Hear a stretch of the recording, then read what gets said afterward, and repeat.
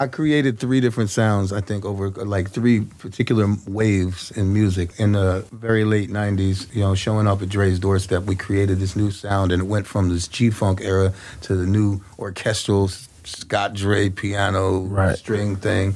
Before that, it was like, you know, I don't want to take responsibility, but I think we had a great part in the whole neo soul movement What was the kickoff of that sound? and with the roots. Yeah, it was the roots, right? Silent everything, treatment in those records, right? And then, you know, going to Miami, I got real into Middle Eastern thing. And I, I just, I started making this like Arabic sounding stuff and some real exotic sounding music. And, you know, we, we created some waves.